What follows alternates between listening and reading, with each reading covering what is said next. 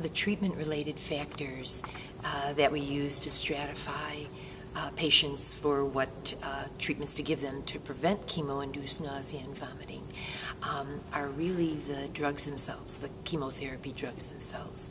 There's a very specific list that breaks the chemotherapy agents down into highly emetogenic, moderately emetogenic, low chance of emesis, and then none. Um, there's several drugs in that highly emetogenic category uh, that 90% uh, plus of patients, unless adequately treated, will get uh, nausea and vomiting. Uh, some of the classic drug, probably the most classic drug we think of is uh, cisplatin. Then there's the next category, moderately emetogenic, which is probably the biggest category with the most number of chemotherapy agents. And that means that about 30 to 90% of patients will uh, get nausea and vomiting if untreated. And also, well, the thing to think about is a lot of patients are treated with combination chemotherapy.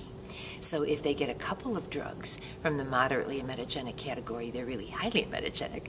And the only reason it you know, makes sense to really pay attention to this is then if you're following guidelines, national guidelines for the treatment, you find the category that it's in, then you use those guidelines.